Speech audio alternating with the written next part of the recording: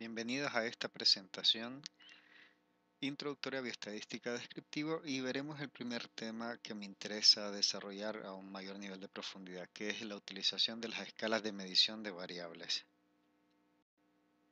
Bueno, vean que cuando estamos delimitando el, problema de investigación, entonces es algo que en lo que centramos la atención es en el comportamiento de los factores de riesgo que estamos analizando. Y proponemos una serie de medidas de frecuencia para su estimación.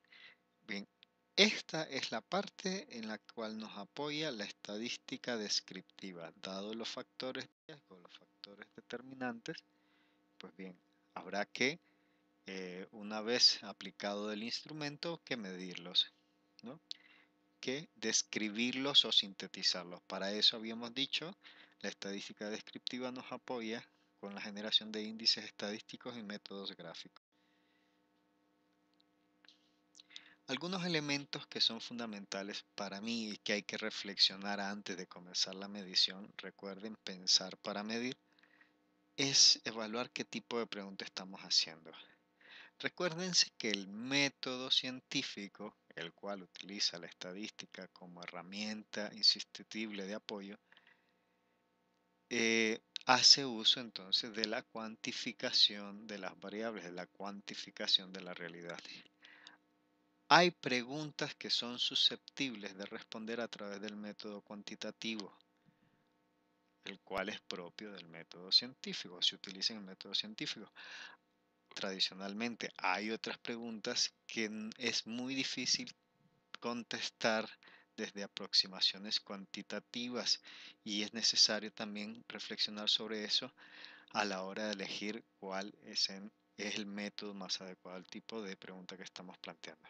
Yo les diría, si la pregunta parte de, la reflexión de que lo que queremos lograr es medir, cuantificar, analizar o describir un fenómeno, las relaciones, determinaciones y la causalidad entre, las, entre determinados variables y un efecto, pues entonces potencialmente la utilización de método cuantitativo es más adecuada.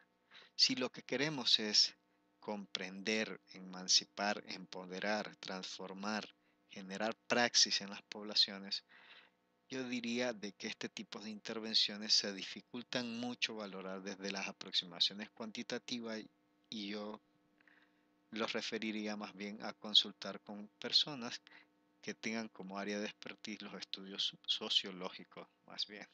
Entonces, si lo que quiero es medir, cuantificar, analizar, es posible que el método cuantitativo me sea de en mi investigación. Ahora, luego lo que tendría que especificar es qué es lo que quiero medir, cualificar, cuantificar o describir, ¿no? Si son atributos o características de los sistemas de salud, en este caso, pues hay una gran cantidad de atributos o características susceptibles de analizar. Y me interesa eh, que determinen el atributo así como sus dimensiones. Cuando me refiero a atributos, ustedes ven acá, por ejemplo, una gran cantidad de atributos que son susceptibles de analizarse dentro de un sistema sanitario. Eficiencia, calidad, impacto, eficacia, efectividad, equidad, análisis estratégico, determinantes en salud, necesidades en salud, accesibilidad, etc. Pero es tan interesante los actos como las dimensiones de estos atributos a analizar. ¿A qué me refiero con dimensiones? Véanse, por ejemplo, yo quiero analizar calidad. Entonces, lo importante es comenzar definiendo qué entiendo por calidad. Y de esto, qué entiendo por, por cada uno de los atributos, es necesario que los equipos de investigación o de intervención se pongan de acuerdo antes de comenzar la intervención. Por ejemplo, la Job Hopkins, la Comisión perdón, de Acreditación de Hospitales de Estados Unidos, junto con Job Hopkins, proponen que en calidad, por lo menos en la acreditación de hospitales, se debe entender como un atributo compuesto hasta por ocho dimensiones. donde ellos contemplan que una de sus dimensiones o una de las dimensiones para medir calidad dentro de una unidad hospitalaria es la competencia técnica. Analicémoslo esto desde una, imagínense que llegan a hacer una acreditación de un área de quirófano. Las preguntas serían, ¿las personas que operan esta área de quirófano están, eh, tienen las competencias técnicas eh, necesarias para ocupar los cargos y realizar las actividades para las cuales han sido contratados. Eh, puede haber otra dimensión relacionada a calidad que sea susceptible de valoración, como por ejemplo puede ser el acceso y la rapidez de los servicios ofertados en esta unidad, la eficacia, es decir, si realmente están resolviendo los problemas de salud para los cuales fueron generados, las relaciones interpersonales, es decir, cómo están funcionando eh, las personas contratadas dentro de la organización de acuerdo al organigrama y el lugar que, ocupan dentro del organigrama institucional, la eficiencia, es decir, si están haciendo lo que dijeron que tenían que hacer o, lo, o están obteniendo los resultados pretendidos a obtener a los costos que fueron estimados, la continuidad de la prestación de servicio, es decir, me atienden, pero además me dan un seguimiento de la atención para valorar que en el transcurso del tiempo logro recuperación. La seguridad, es decir, que los procedimientos que se me realicen sean los más seguros y que causen menor probabilidad de lesiones, así como aspectos que tienen que ver con la hostelería, como por ejemplo comodidades. Ellos plantean al menos estas ocho dimensiones y lo único que estamos haciendo, midiendo estas ocho dimensiones, según ellos, midiendo calidad. Ojo, así lo entiende la Comisión de Acreditación de Hospitales de Estados Unidos.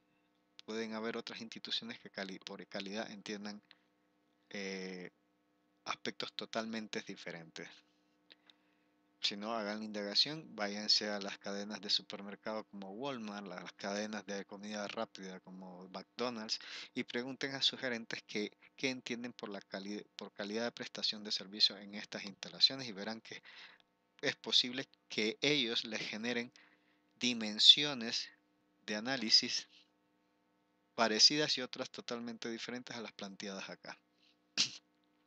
Entonces, el atributo seleccionado en la investigación además es posible de descomponer en diferentes dimensiones de análisis. Por ejemplo, factores relacionados a desnutrición. Ok, yo quiero analizar factores relacionados a la desnutrición.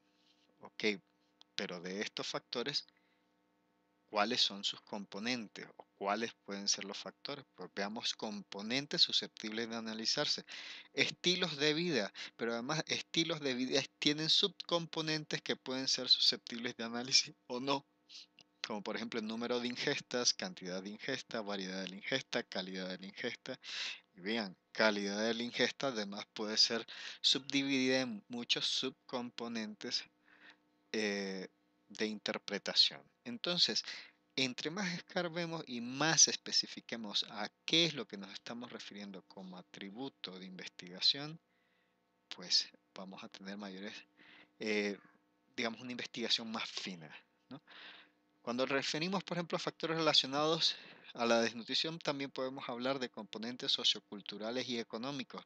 Lo interesante ahí es desmembrar y referir la investigación a qué aspectos o a qué dimensiones de este factor estamos haciendo referencia o vamos a indagar en la investigación.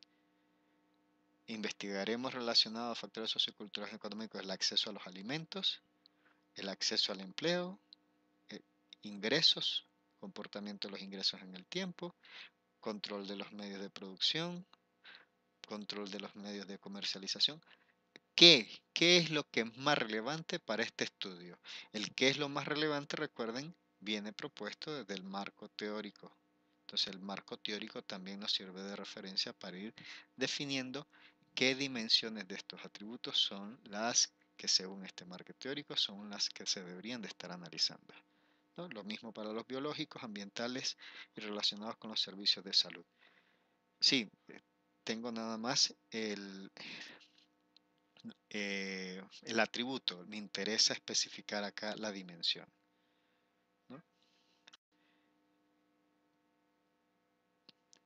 El paso 3 sería una vez ya definido atributos, que en este caso podríamos definirlos también como variable, y una vez definido para estos atributos o variables las dimensiones a analizar, pues lo que quedará es hacer una transformación o una, eh, una transformación de la variable que en este caso es un aspecto cualitativo de la realidad a una forma de medición numérica, a lo cual llamamos codificación. Por ejemplo, la variable sexo. Podríamos decir que sexo, lo que nos interesa medir como dimensión, es eh, rescatar la forma en que se eh, represente la persona entrevistada al momento, digamos, de solicitarle su identificación o su participación en la encuesta. Y que ésta nos refiera si es masculino o femenino, pero vean, son atributos de cualidad. En este caso hacemos una codificación y, asignamos a masculino 1 y a femenino 2. Vean que solamente es un ejercicio de asignación de un código numérico. En, esta, en este ejemplo, por ejemplo, 1 y 2 pierden ya eh, las características propias de la escala numérica de los números enteros. Aquí 1 no es menos que 2, ni 2 es más que 1, ni 1 es la mitad de 2. Es solamente estamos utilizando el 1 y 2 como una etiqueta de identificación. Cuando asignamos los números de esta manera, estamos hablando que estamos asignando números haciendo uso de una escala nominal. Que eso prefiero que lo profundicen en la lectura del documento básico de lectura de este, de este tema. Vean la diferencia, por ejemplo, con eh, cuando yo solicito la codificación de la variable conductas relacionadas al, ejercicio físico, que es la última variable.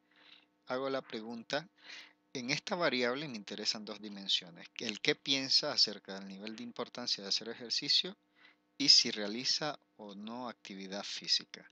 Relacionado a qué tan importante es para esta persona realizar actividad física, le, he puesto la etiqueta P6 ejercicio y la codificación va en niveles de importancia, donde uno es muy importante, dos es poco importante, tres es me da igual. Entonces, hay un gradiente acá de nivel de importancia, de muy importante a nada importante. Uno tiene el máximo nivel de importancia y, tres, y a, medida que aumenta eh, la escala numérica disminuye el nivel de importancia. Por tanto, aquí hay un gradiente de mayor a menor, lo cual es típico de las variables o define a las variables ordinales. Entonces, vean que aquí la utilización del 1 y 2 es muy diferente al caso anterior. Aquí sí 1 es más que 2 y 2 es a su vez más que 3. ¿no? Pero 1 no es la mitad de 2, ni 3 es 3 veces 1. En este tipo de situaciones, las etiquetas de numerales hacen referencia únicamente a un orden lógico de menor a mayor cantidad o calidad, típico de las variables ordinales.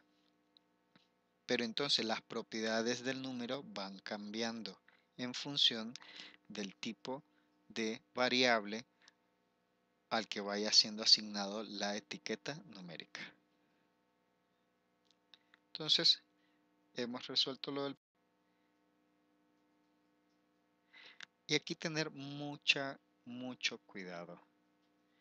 Veamos que eh, a una misma variable podemos asignar múltiples escalas de medición.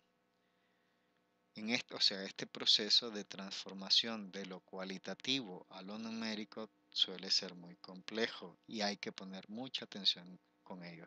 Por ejemplo, me interesa medir ingesta de cerveza en un grupo de universitarios. Entonces podemos utilizar varios tipos de escala de medición. Está la escala de cantidad de botellas consumidas y aquí la respuesta será número de botellas de cerveza consumida y puede ser 1, 2, 3, 4, 5 o 0. Entonces estaremos haciendo, si esta es la forma en que planteamos la pregunta, lo que estaremos obteniendo como resultado, digamos, es una em, cantidad de botellas consumidas y esto entonces se volvería, estaríamos utilizando una escala de medición discreta. Si lo que nos interesa es la cantidad exacta de mililitros consumidos, imagínense con dos grados de precisión, con dos decimales de precisión, entonces ya no estaríamos utilizando números enteros para referir la cantidad consumida, sino mililitros con dos decimales.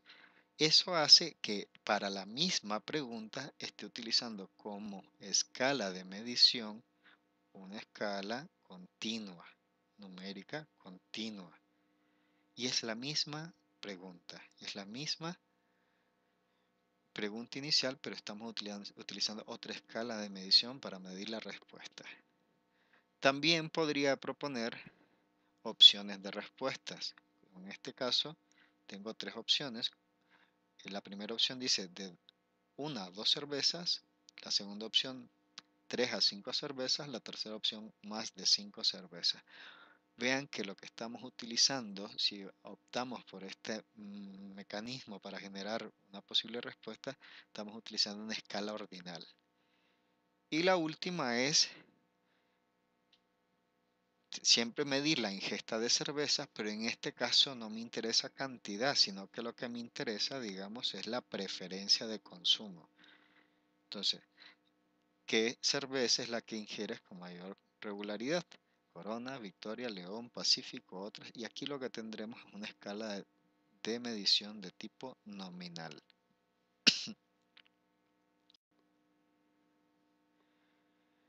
Lo mismo podría ser para variables que habitualmente definimos como variables continuas, como por ejemplo la edad.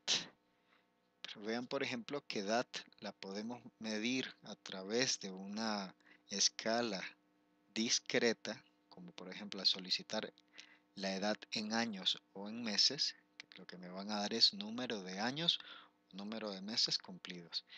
Podemos también solicitarla o medirla como una variable a través de una escala de medición continua, como tiempo transcurrido desde el nacimiento y en este caso complejizamos la medición solicitando años, meses, días, horas, minutos, segundos, etc. Si nos interesa, por ejemplo, la cantidad de segundos, de días y segundos pasados desde, el nacimiento. Podemos medirlo también como una variable ordinal.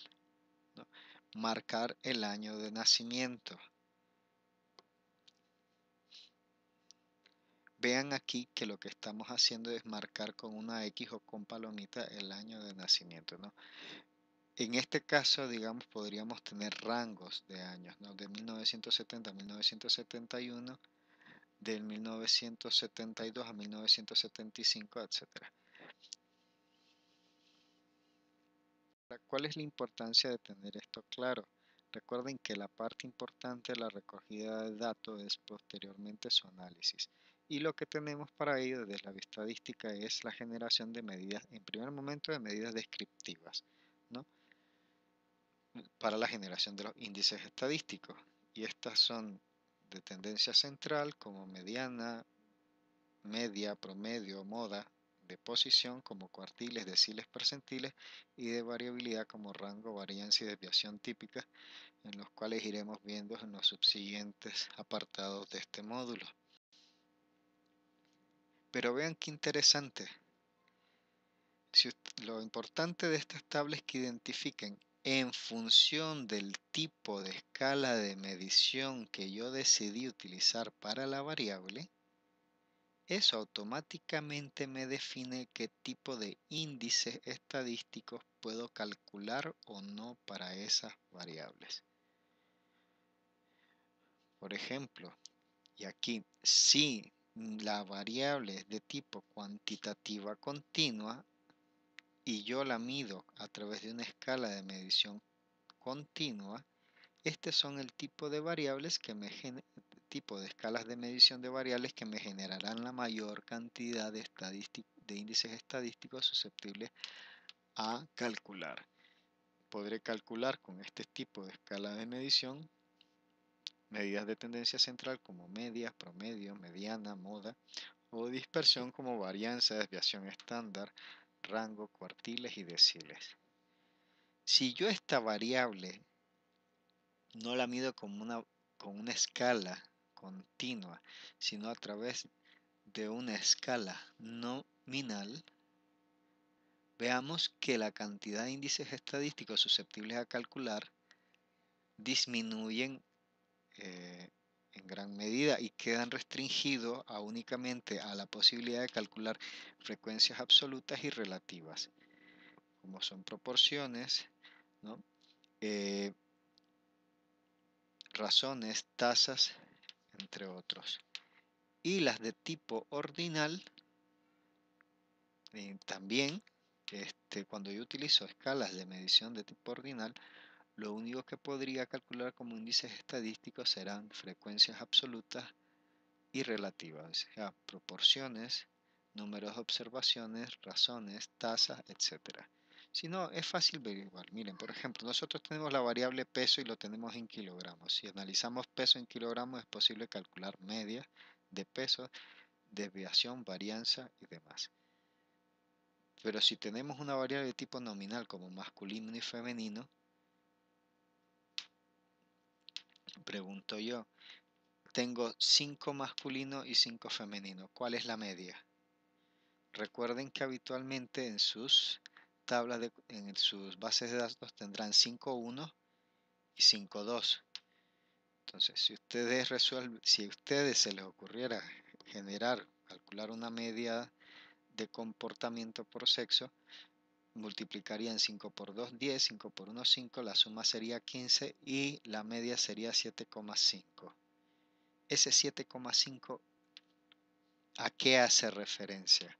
Entonces, no es que no se pueda calcular una media, simplemente es que no tendría ningún tipo de interpretación para este tipo de variable. Por tanto, para escalas nominales, lo que podemos calcular, lo que es factible calcular, serán frecuencias absolutas y relativas, número de masculino y femenino o porcentaje de masculinos y femeninos.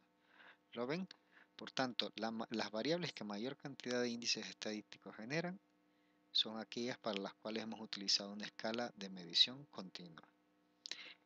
¿Qué tipo de escala de medición utilizamos? Entonces es importante analizar desde un inicio y teniendo en cuenta que el tipo de escala de medición que utilicemos me definirá qué tipos de índices estadísticos podré calcular o no. Es decir, si yo utilicé una escala de medición continua, para peso, podré calcular media, podré calcular varianzas y desviación típicas para esa variable. A su vez, y aplicar algunas características de distribución normal para calcular probabilidad del comportamiento de esta variable, como veremos en capítulos posteriores. Y para esta variable, para este tipo de de cálculo de índices estadísticos, pues tendré también eh, algunas estrategias que permitirán resumir la información, ya sea a manera de tablas o a manera de gráficos. Para cuantitativas es posible también calcular mediana o cuartiles o deciles. Veremos en qué tipo de casos calcularemos medias y desviación estándar y en qué otros es preferible calcular medias, medianas y cuartiles. Para las y para cuando calculemos medianas, eh, por ejemplo, es clásico utilizar otro tipo de representaciones gráficas, como por ejemplo son los canales endémicos, cuando estamos utilizando o haciendo análisis del comportamiento de enfermedades. Para las medidas, para las escalas de medición eh, ordinales y nominales, recuerden, habitualmente utilizamos medidas de frecuencia absolutas y relativas. Por tanto, estas variables o las variables medidas a través de este tipo de escalas de medición es susceptible de representarlo a través de tablas de frecuencias. Ya sean, podemos representar de esta manera tanto eh, datos cualitativos ordinales, pero también los podemos hacer para los nominales y es posible además hacerlo para los cuantitativos discretos. Las variables cuantitativas continuas también se pueden representar a través de tablas de frecuencias, pero para ello, cuando hay una gran cantidad de valores, es necesario generar previamente rangos de valores. Entonces es necesario transformar la medición de la variable de medida cuantitativa a una variable de rango de valores, en este caso lo estamos transformando de variable cuantitativa a una variable de tipo ordinal, porque vean los rangos van ordenados dentro de la tabla de menor a mayor habitualmente. Por ejemplo, habíamos dicho anteriormente, si ustedes eh, recogen la edad de un grupo poblacional y me la recogen eh, como dos grupos de valores, menor de 30 años y mayores de 30 años, en el instrumento ustedes únicamente podrán marcar si las personas son menores de 30 años o mayores de 30 años. Al final de la recolección de información tendrán tantas personas menores de 30 años y tantas personas mayores de 30 años. Pregunta, ¿cómo calcular entonces la edad promedio o la media de la edad? Simplemente es imposible si ustedes lo recolectaron de esta manera. Entonces, variables como edad que desde un inicio se pueden recolectar como haciendo uso de una escala de medición continua, es necesario recogerlas desde el inicio de esta manera. Luego, si ya queremos agruparlas en diferentes rangos o grupos de valores, pues ya será un procedimiento a posteriori realizado durante el proceso de análisis. ¿Qué tipos de estadísticos estás interesado que yo calcule y cuáles son las representaciones gráficas que esperas que yo genere? Entonces, ojo, las matrices de codificación de información, chicos, no solamente guían el proceso de análisis de la información, deberían de estar elaboradas desde antes de iniciar el, incluso la elaboración de los instrumentos de recolección de información. La matriz de codificación de información debería de ser la, la herramienta a partir de la cual Vean que aquí hay un nivel de abstracción importante sobre qué es lo que yo espero como resultado y cómo los voy a representar en esta investigación. Entonces, esta matriz de codificación de variables me debe servir como fuente para la generación de dos, de dos, de dos eh, elementos indispensables en investigación. Uno, de aquí se debe desprender cómo se va a configurar tu instrumento de investigación. Es decir, en tu encuesta o en tu instrumento de recolección de información, cómo me vas a medir la edad, cómo se mide sexo. ¿No? En este caso le estoy diciendo que a través de dos valores, uno que va a ser igual a masculino y dos que va a ser igual femenino. Y eso no puede modificarse en tu encuesta y ser diferente a la hora de analizar la información. Tiene que haber una correspondencia entre lo que es la encuesta y la forma en que el estadístico está analizando la información. Entonces, ojo, matriz de codificación de información entonces es la base, la información básica para generar tu instrumento de recolección de información, así como tu proceso de análisis de la información. Por eso para mí es crucial hacer un alto en el camino y llamar la atención sobre la necesidad e importancia de esta herramienta en la planificación de la investigación epidemiológica o la investigación sanitaria en general.